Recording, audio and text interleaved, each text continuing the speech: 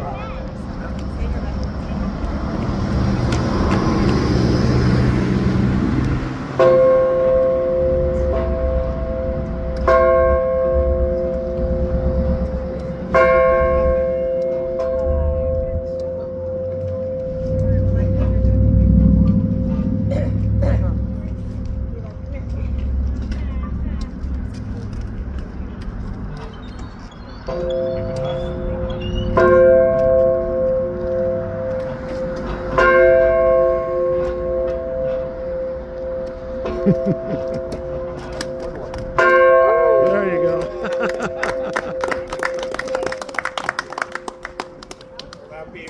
I'm sure most of you know that uh, Stu Houston was a volunteer. It about 1946, I believe, to about 1975. A few years later, uh, George joined. Interesting thing, it was almost 20 years. He was a lieutenant, and when he retired, came down to Old Timers Night as a volunteer and left as an old timer. and one of the pictures on a of the book that was written in 1987. There's a little shot back here, and I did have that uh, book, and I left it with the family there, of uh, the photograph. There's about 90 people showed up for that old timers. And guess who stood next to each other?